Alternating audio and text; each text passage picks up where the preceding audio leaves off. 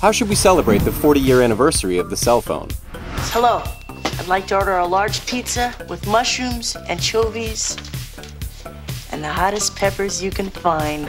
According to The Verge, Motorola engineer Marty Cooper placed the first public call from a cell phone on April 3, 1973.